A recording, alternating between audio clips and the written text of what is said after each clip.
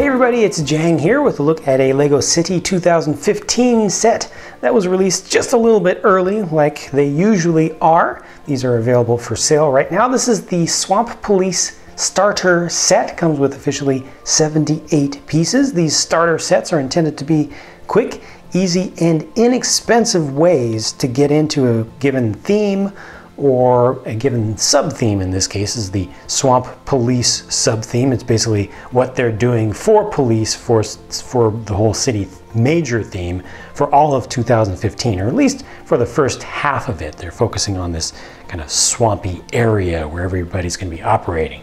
Kind of the fanciest thing in the set is this police airboat here and you can immediately see what it's supposed to be because of its overall design, especially with the big old propeller out of the water up above, an, an air screw propeller with the big guard in front of it. And they pulled off this whole build with a really a minimal parts count for the details that are included here because most of the hull is one piece. It's not a super specialized piece, but it, it really does take up the majority of the bulk of the whole thing.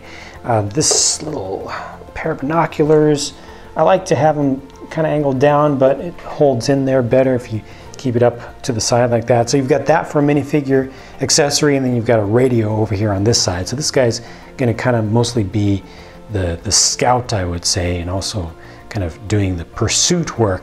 This piece here on the front does not have a sticker on it. That is actually printed. I appreciate that very much.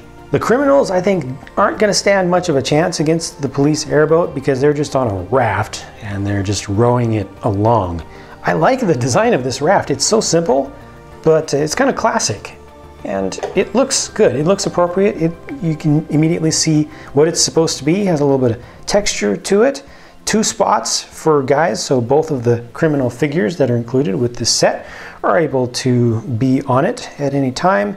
Now, the only question is why does this guy have a shovel there? Well, here's another question, I guess. Why does this guy on the back have an empty backpack? Well, this here is the answer. It's the spot where they've hidden some stolen money and they're out uh, trying to find it so they can dig it up and get at that cash. It's actually hidden in the center there. You gotta dodge the spider and move some foliage out of the way and dig this up and then you'll get at your money. There's only one included in this set. I think, no, actually there were, there were two, but one of them is supposed to be an, an extra. Uh, what else? Oh yeah, there's a snake, classic old, old, old design of snake that you can use as an extra little obstacle that you have to deal with. But something that's not so old at all, as a matter of fact, it's brand new, is this alligator. It's all new alligator for 2015. Lego's been making alligator models and sets for a long time, so to get something new again is pretty exciting to me personally. And this one I think looks really good. It's got great sculpting to all these new pieces.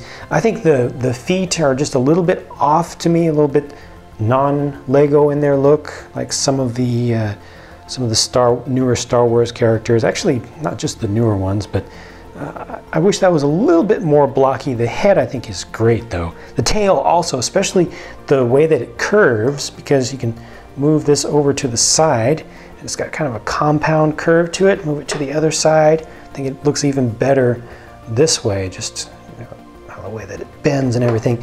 The head is able to open wide and it has enough room in the lower jaw to actually hold some stuff so you can put some small things in there, including an entire leg of turkey will actually fit inside of the mouth. Really nice shape to the jaw here and peg-sized holes in the sides and in the front so it can partially hold on to some stuff as well. Here's the full lineup of the figures up close, so two cops and two criminals. No prints on the hips or the legs in this set.